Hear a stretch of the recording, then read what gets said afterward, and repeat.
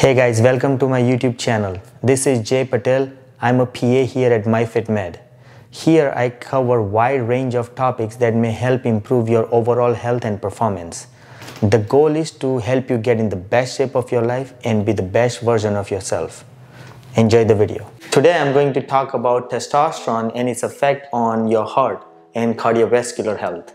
TRT has been a topic of concern when it comes to a cardiovascular health. With a lot of misconceptions surrounding this treatment, it is very important to know the facts. Today, I'm going to highlight the key finding from the study, the TRAVERSE trial, that just came out this year. This study was published in 2023 in a New England Journal of Medicine.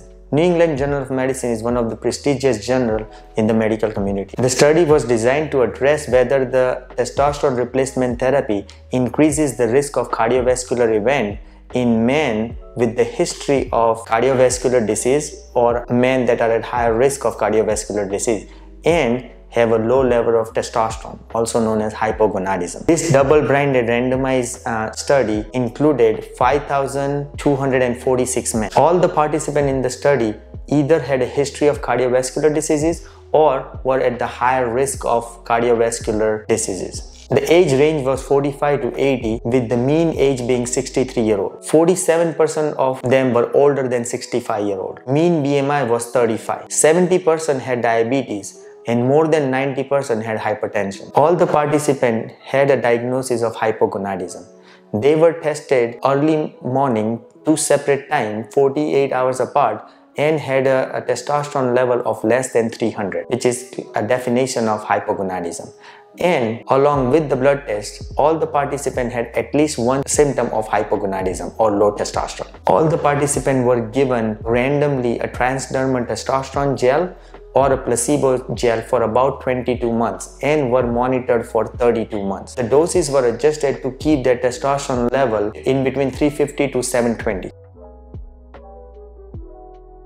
The study found no significant difference in the cardiovascular event in testosterone versus the placebo group, even for the individual that had very high risk of cardiovascular diseases. Now, testosterone being safe from the cardiovascular perspective doesn't mean that everybody should start testosterone replacement therapy.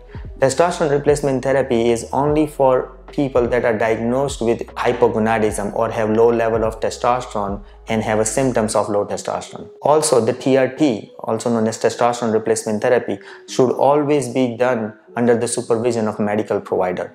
And while you are on TRT, you have to make sure that you are getting your regular blood work done and making sure that your level are in the normal optimal range. TRT or testosterone replacement therapy does come with other side effects so make sure you are following up with your medical provider and always do the testosterone replacement therapy under the supervision of your provider. Hope you enjoyed the video and learned something about how to optimize your overall health. Talk to your medical provider before starting any medication or treatment. Comment below and let us know what are the topics you want us to cover. If you like this video, give us a thumbs up and subscribe for more educational video. Thank you guys for watching.